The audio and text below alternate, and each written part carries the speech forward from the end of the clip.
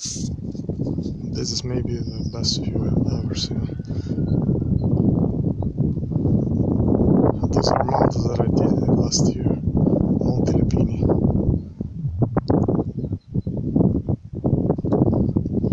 And from here it's, uh, you know, Rome and whatever.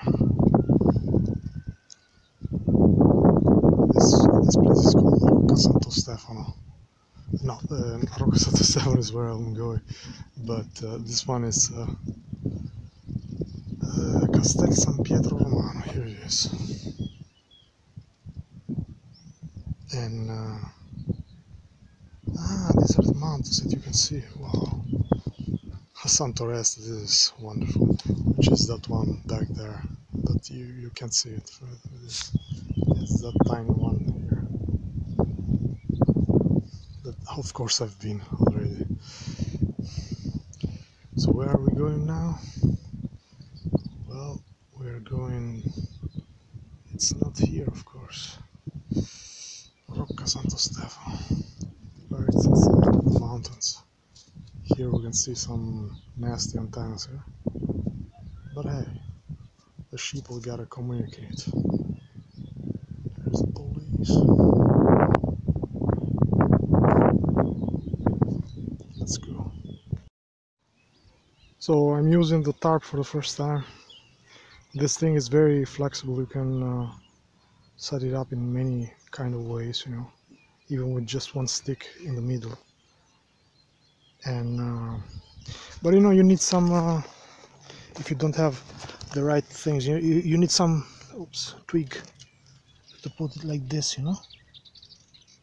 And while you know, I was trying to make it make it sharp on the other hand, so that it could uh, go on better.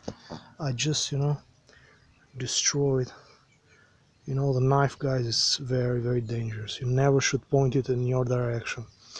I was dumb, you know, to do this, but luckily, you know, I put this finger in my mouth, you know, and I try to hold the the cut with my tongue, you know, and after a while, you know, coagulated and the blood doesn't flow anymore there, and I'm almost not feeling any pain anymore.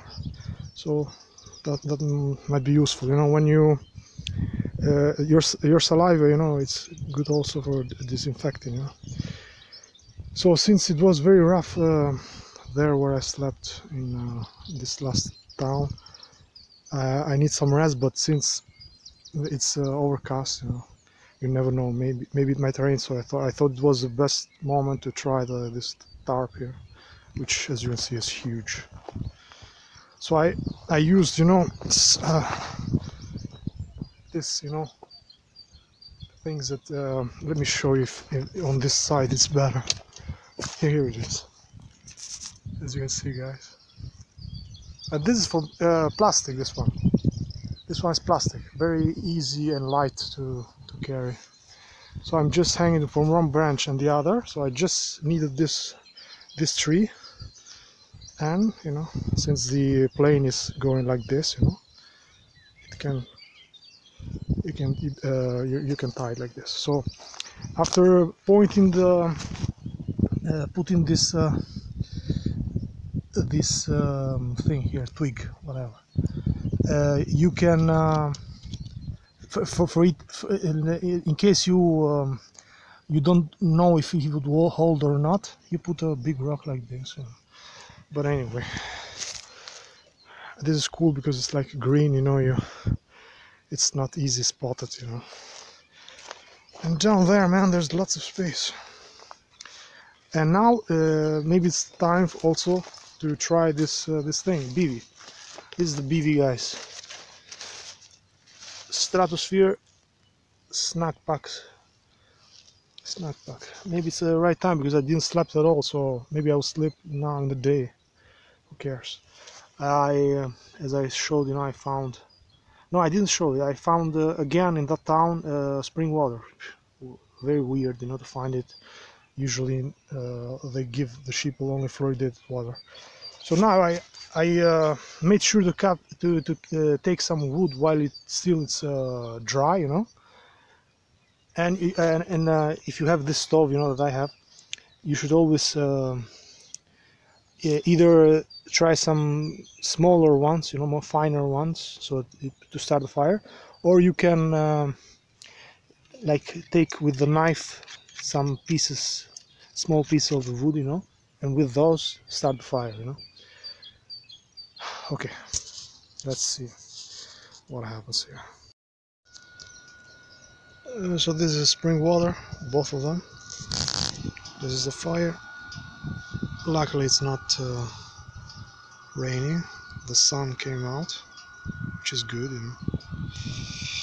I'm here in the rock here with my sleeping bag as a pillow. Finally found the name of uh, Cuscino pillow. So these are olives.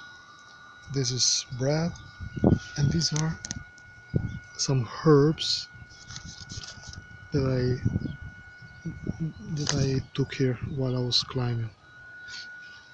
So here's the place, guys. Just amazing. You know, much better like. But, but this, you know, even though it doesn't rain, it's good for shade, you know. Now all this stuff is in the sun, but me here is all shade, which is cool.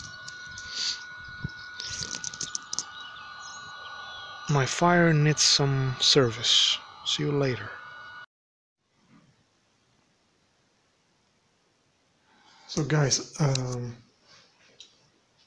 uh, this, this was something amazing uh, today, guys. Um, it's not, um, you know, this is just the tip of the iceberg. You know what I got for free, which is this place. Bathroom and kitchen and everything, you know. Kind of creepy this one, but hey, there is also the this, you know. But uh, it's not important, this guys. The important thing is uh, this uh, priest, you know, was, you know, uh, did a sermon, a sermon uh, which was amazing, guys, amazing. I've never seen, you know, Catholic priest, you know, do such a such a hard, you know, hitting words to the congregation. You know, they will all had to wear mask, you know, in front of him, and to stay like one meter apart. You know, even though they were in the open in this church in the open. You know, and man, he he, you know, was making fun of them. You know, of wearing the mask. You know, and all kinds of things. You know but in, in, a very elegant way, you know, but very, uh, very concise, uh, very hard with the with the attack, you know. And so I listened to all the sermon because it was amazing. This is the second time, you know, that I found here in Italy after all these uh, works that I do, you know, uh, that I've talked with lots of priest guys. Uh, this this was the only one that did the sermon, you know, where he was, you know, telling the congregation they are lost, you know, totally lost. Um, I, have never expected something. I, it, would it would have been cool, you know, if I recorded all this. This guy was a, a, like a young priest, maybe 40, 50, not 50 years old, maybe. But uh, wow, man man, I hate these monsters, these Catholic uh, uh, Christians, you know. But this guy, and and you know, uh, when we came here, after he showed me all this, uh, would give me for free, you know, all these beds and uh, all kinds of things, you know. I can shower myself and have a shower. How do you say? And uh, maybe eat something in the kitchen here, gas and everything, you know and uh,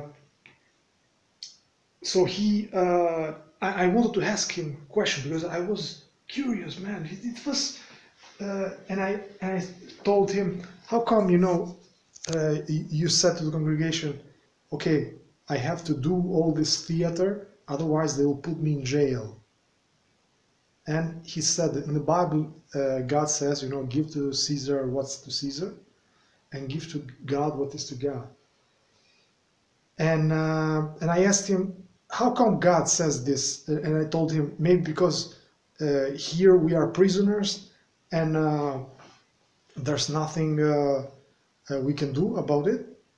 And he told me, not quite like that. Uh, He told me that at least I can free put a thought on, on you. The mind is is free. You have the the choice, you know, to to not believe what they say, for example, you know. But you know, uh, what what would, can you do with these monsters, you know? Uh, if you uh, don't obey them, you know, they will just kill you or lock you somewhere. But the mind, they cannot get to the mind. You know, when you have the, the moment, the, the opportunity, you act, you know, without believing what they say, you know. Uh, very, you know, you, you might say, oh, very, uh, looks like, you know, the, the elite themselves wrote this verse, you know, so that they can have uh, obedient uh, sheep. What can I say, man? I'm trying to, to learn. And I asked him, uh, in your opinion, you know, because he, after, after he showed me this, the place here, he, uh, I told him uh, what they are trying to do here. And uh, he told me that they are trying to reset economically the world and also to have one religion, one world religion. And I told him "E- ecumenism. And he told me, no, it's not ecumenism. You know, they have to defend themselves, guys, but it's the Catholic Christians that are, you know, the Pope that are joining all the the faith, the religions, you know. So, because he said in ecumenism you still have the diversity, you know, it's respected. Uh, kind of, you know. If, if, if a guy, you know, just wears uh, the things, the, the dress of another religion, but in, in fact is doing the same thing that the other religions do, at that point, you know, there's no diversity there. So this is, uh, it was it was cool, you know, to to do this kind of conversation with, with this guy, and uh, and I and, and maybe he will show me the church uh, because it was really beautiful. I I mean uh, this place called Capranica. Capranica. And uh, that's it. If, if I have the chance, if he can allow me to film in the church, I will film in the church. Otherwise, it ends here. See you on the next one, guys.